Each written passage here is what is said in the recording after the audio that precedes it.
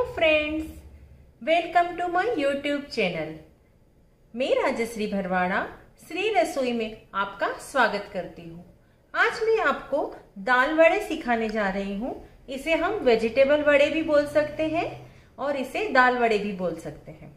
दाल वड़ा बनाने के लिए हमने चने की दाल ली है, बारीक कटी हुई हरी धनिया ली है, बारीक कटी हुई पत्ता गोभी ली है, बारीक कटे हुए शिमला मिर्च ली है बारीक कटी हुई पालक ली है और अदरक मिर्च है और क्रिस्पी बनाने के लिए मैंने चावल का आटा लिया है। सबसे पहले हम ये चने की दाल को एक मिक्सी के जार के अंदर ले लेंगे।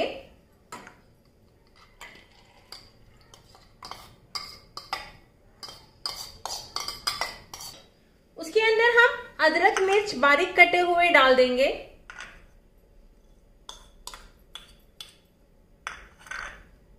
और इसे आप, हम पीस लेंगे। एकदम बारीक नहीं पीसना है थोड़ा सा हम रफली पीसेंगे इसे। अब ये मैंने इसे दाल को पीसी है रफली। अब मैं इसे एक बाउल के अंदर ले लूँगी। थोड़ा सा पानी डाल के मैं पूरा इसमें ले लेती हूँ। मैंने पीसने के टाइम पे पानी नहीं डाला था। आप अगर उसमें एक से दो चम्मच पानी डालेंगे तो आपकी बेटर की कंसिस्टेंसी इस टाइप की थिक हो जाएँगी। अब इसके अंदर हम सारे वेजिटेबल्स डाल देंगे। मैंने बारीक कटी हुई हरी धनिया डाल दी है। बारीक कटी हुई पत्ता गोभी डाली है। बारीक कटी हुई शिमला मिर्च डाली है मैंने। और बारीक कटी हुई पालक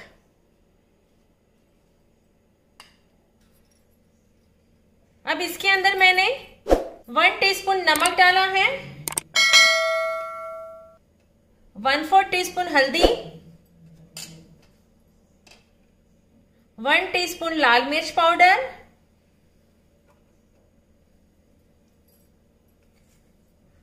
वन टीस्पून या तो हाफ़ टी स्पून आप अजवाइन ले सकते हैं। अगर आपको अजवाइन की जगह तिल लेना है तो आप तिल भी ले सकते हैं। अब इन सारी चीज़ों को अच्छे से हम मिक्स कर देंगे।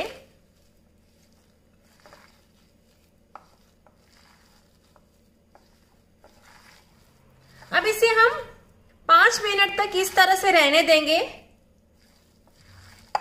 और तब तक हम तेल गरम करने के लिए रख देंगे। ये मिक्स करके ऐसे रखने से इसके अंदर जो सब्जियों का पानी है वो निकलेगा। बाद में हम उसे बाइंडिंग के लिए चावल का आटा डालेंगे। इस तरह से हमने अच्छे से मसल के इसे पाँच मिनट के लिए रख देना है। अब हम इसके अंदर पिंच ऑफ़ सोडा डालेंगे। और अब हम इसके अंदर चावल का आटा डालेंगे। दो से तीन चम्मच कभी आपका ये बैटर ज़्यादा मोस्चर लग रहा है, ज़्यादा इसके अंदर लग रहा है कि ये ढीला है तो आप इसमें एक आध चम्मच ज़्यादा भी चावल का आटा ऐड कर सकते हैं।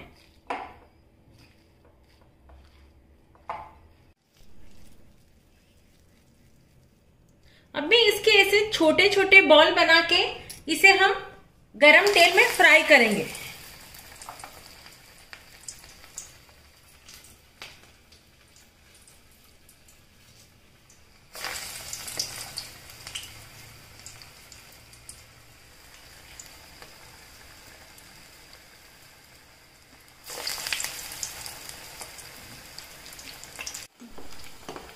इसे हम पलट के दूसरी साइड से थोड़ा होने देंगे।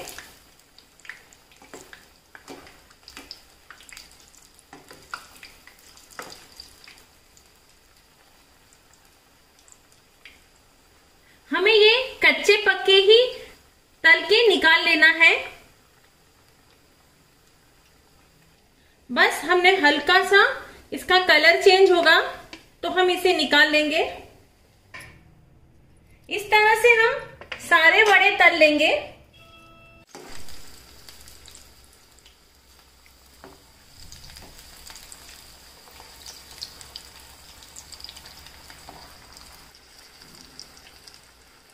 ये वड़े का बेटर, जब हम सब्ज़ी डालते हैं, उसके बाद हमें बहुत देर के लिए नहीं रखना है। आप इसे इस तरह से कच्चे पक्के वड़े बना के रख सकते हैं। और जब आपके गेस्ट आए, तब इसे आप सेकेंड बार तल के दे सकते हैं। पर अगर आप सब्ज़ी डालते हो, फिर आप वो बैटर को वैसे ही रहने दोगे तो उसमें से पानी निकल, निथन, सब्जियों पानी छोड़ने लगेंगे, जिनसे आपका बैटर बहुत ढीला हो जाएगा। तो फिर आपके वड़े इस तरह से अच्छे सेप में नहीं बनेंगे। इस कारण हमने जैसे ही सब्ज़ी डाली, उसके बाद तीन चार मिनट रखने के बाद थोड़ा सा मॉइस्चर निकलता है, फिर हम उसमें चावल का आटा ऐड कर देते हैं।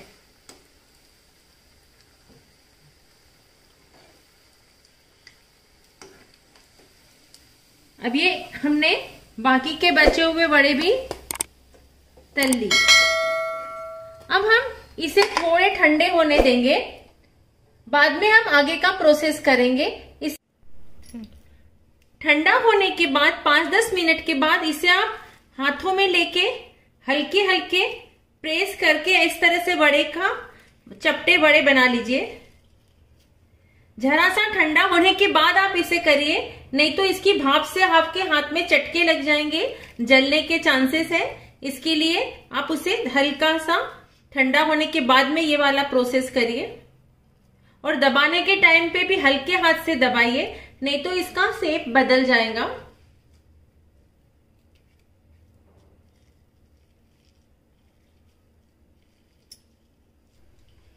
अब हम एकदम गरम तेल के अंदर इसे डालेंगे, क्योंकि धीमा तेल रहा और हम इसे डालेंगे तो ये हमारे बड़े ऑयली हो जाएँगे।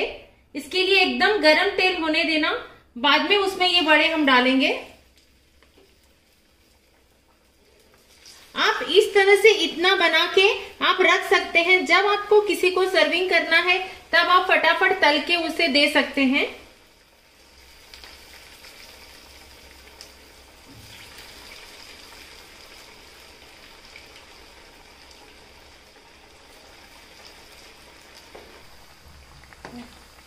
अब आप इसको इस तरह से दोनों तरफ़ से पलटकर एकदम क्रिस्पी कर लीजिए और फिर आप इसे गर्मा गर्म सर्व करिए। आप इसके अंदर प्याज और लहसुन दोनों डाल सकते हैं। ये एज ए जैन भी आप विदाउट प्याज लहसुन भी सर्व कर सकते हैं और इसमें अगर आप लोग प्याज लहसुन डालेंगे तो इसका टेस्ट और भी बहुत अच्छा आएगा। तो आप इसे इस तरह से प्याज लहसुन डाल के भी सर्व कर सकते हैं। और ये एक बार तलना हो गया है, इसके लिए सेकेंड बार में ये फटाफट क्रिस्पी होते हैं।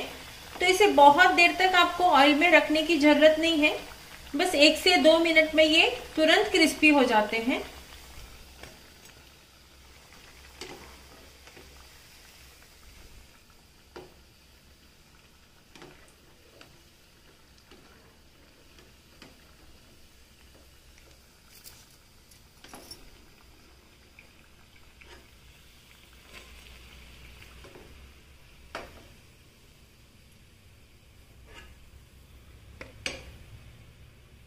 ये हमारे वड़े तैयार हो गए हैं। अब इसे हम सर्विंग प्लेट में लेंगे। इस वड़े को मैंने ग्रीन चटनी के साथ सर्व किया है। आप इसे ग्रीन चटनी के साथ, इमली की चटनी के साथ, इसे चाय के साथ गरम गर्मा गर्म सर्व कर सकते हैं। आप ये रेसिपी बनाइए और अपने फैमिली में सबको ये गर्मा गर्म वड़े खिलाइए। अगर आपको मेरी ये रेसिपी पसंद आई है, आप मेरे चैनल को लाइक और सब्सक्राइब करिए। Thank you